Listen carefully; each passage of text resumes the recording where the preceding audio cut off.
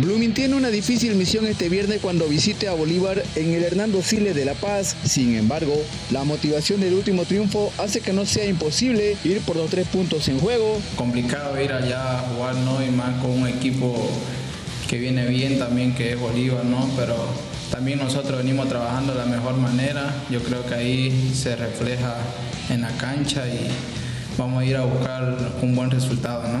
En lo personal de Nilson Durán, que es el sub-20, aprovecha la confianza que le está brindando el técnico Carlos Bustos y juega no solo por la regla, sino por sus buenas condiciones.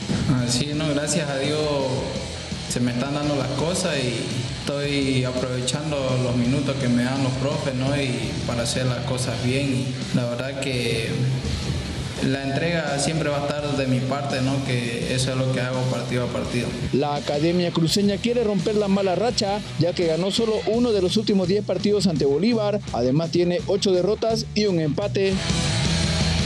Sports.